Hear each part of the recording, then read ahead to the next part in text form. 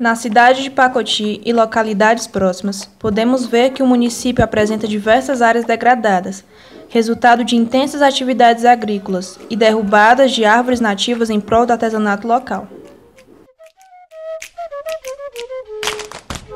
Com base nisso, foi elaborado um projeto com o intuito de conscientizar a população sobre o desmatamento ilegal e fazê-la repensar sobre o uso de materiais biodegradáveis, contribuindo assim para a diminuição de poluentes e a diminuição do impacto motivado por materiais agressivos ao meio ambiente.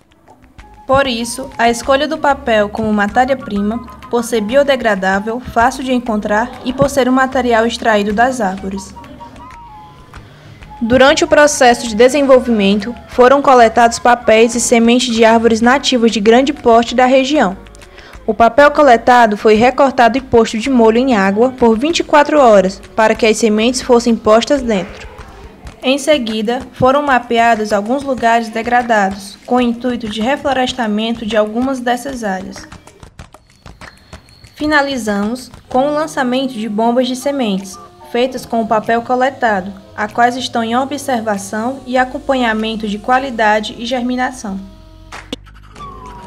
O principal objetivo foi a tentativa de recuperação de áreas degradadas, utilizando materiais biodegradáveis que não provocam agressão ao meio ambiente. Assim, constatou-se através dessa pesquisa e da ação do projeto a importância de contribuir com a natureza, uma vez que nos permitiu colaborar com o meio ambiente.